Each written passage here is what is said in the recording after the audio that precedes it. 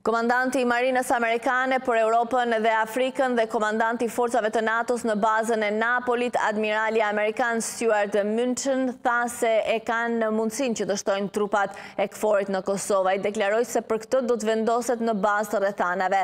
E kemi mundësinë ta bëjmë këtë, nëse është e nevojshme, për këtë vendosim sipas rrethanave, tha ai për Zërin e Amerikës. Ai foli dhe për shtimin e trupave të KFOR-it gjatë periudhës së fundit në Kosovë. Ne shtuam numrin e forcave dhe gjithashtu të armëve dhe pajisjeve që ata i sollën me vete për të parandaluar raste të tjera dhune. Viti dy mijë e njëzet e tre ishte viti më i dhunshëm në Kosovë në dy dekadat e fundit bashkë me sulmin ndaj forcave të KFOR-it në muajin maj e pastaj me sulmin tjetër në shtator gjatë të cilit u zbulua një sasi e madhe armësh. Shtuam numrin e forcave në mënyrë që KFOR të jetë në gjendje të mbrohet e po ashtu të jemi të gatshëm të ndërhyjmë në rast të një dhune mes dy shteteve.